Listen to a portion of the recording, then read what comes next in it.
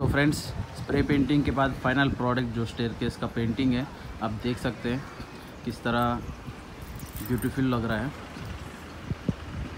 Spray painting का एक benefit ये है कि आप देख सकते हैं यहाँ पे ब्रश फिनिश नहीं आता शाइनिंग आता शाइनिंग देखिए सो so, बेहतर है थोड़ा सा कॉस्ट हो जाएगा इसमें। मतलब जैसे कि आपको चार लीटर लगेंगे पेंट ब्रश के साथ अप्लाई करने के लिए। लेकिन स्प्रे पेंटिंग में आपको एक दो लीटर और एक्स्ट्रा लग जाते हैं।